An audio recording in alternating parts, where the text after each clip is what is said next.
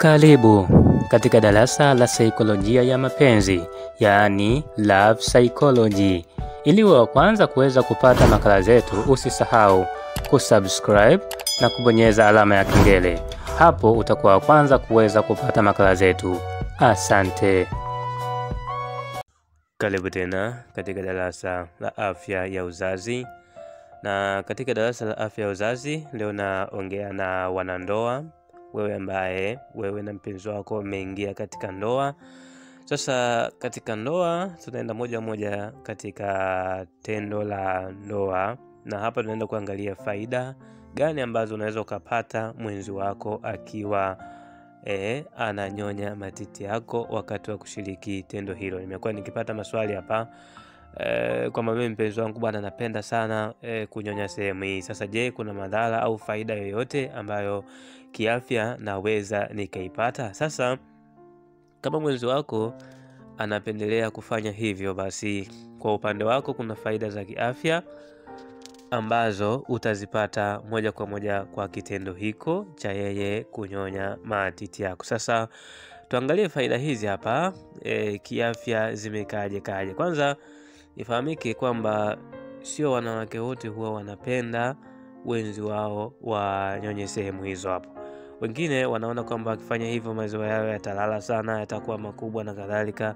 Wengine ni sababu zao binafsi, lakini kwa tafiti ambazo zina, zina za kiafya e, zinaonyesha kwamba wale ambao wanaruhusu wenzi wao kuweza e, kuwanyonya katika maeneo hayo, hapo kuna faida nyingi sana wanazipata. Kwanza wanajiweka mbali na kupata tatizo la saratani ya matiti.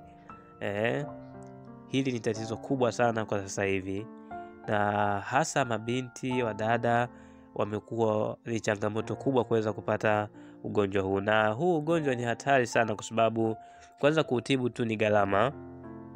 E, lakini ukiuchelewesha basi unakuwa unaleta madhara makubwa zaidi. Kwa hiyo kansa ya matiti ni moja ya tatizo ambalo unaweza ukajikinga nalo kama tu mwenzi wako eh, atakuwa na na, na na hii tabia au atakuwa na uwezo mzuri wa kuweza eh, kuchezea na kunyonya sehemu hiyo hapo. Kwa hiyo hiyo ni, ni sababu ya kwanza ya au faida ya kwanza eh, kwa wewe ambaye mwenzi wako anapenda kufanya hivyo. Lakini faida ya pili e, inakusaidia kuondoa stresi kwa maana ya msongo wa mawazo stress kwa maana ya msongo wa mawazo e, unapokuwa unafanya kitendo hiko kwa kawaida, mwili wako huwa una relax sana, na zile homos ambazo zinahusika na utulivu wa mwili, mihemko na kadhalika, huwa zinafanya kazi katika kiwango ambacho stahiki. Kwa maana hiyo basi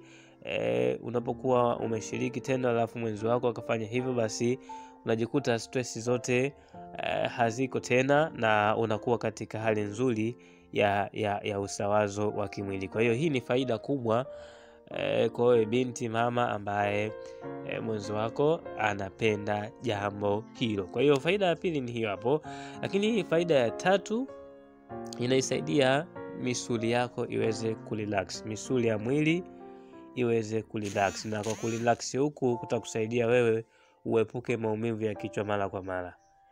E, kuna wale watu ambao kila siku analalamika ah, kichwa kinauma bwana, kichwa hivi kila ukienda kupima magonjwa yote hamna, lakini kichwa kinakusumbua. Ni wakati mwingine inatokana na maesuli e, ya miili yetu inakuwa haipo sawa, haija relaksi, na hii inatokana na mvurugiko wa hormones ambazo zipo katika miili yetu. Kwa hiyo inawezekana kabisa ukaepukana na changamoto za maumivu ya kichwa e, kwa kusaidia mwili wako ukirilaksi, kwa maana ya misuli ikirilaksi kutokana na kitendo hiko ambacho mwenzi wako atakuwa anakufanyia. Kwa hizo ni faida e, miongoni mwa faida nyingi sana ambazo utazipata pindi mwenzi wako anapokuwa ananyonya ana, ana, ana matiti yako kiufundi katika kile kitendo cha e, kushiriki tendo la ndoa. Lakini faida ya mwisho kwa leo kuielezea, inasaidia katika kupreventi magonjwa ya moyo, katika kujikinga na magonjwa ambayo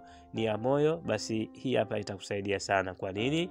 Kwa sababu tayari tumeona e, kuna muscle relaxation misuli yako ya mwili huwa ina relax, lakini hormones za mwili zinafanya kazi.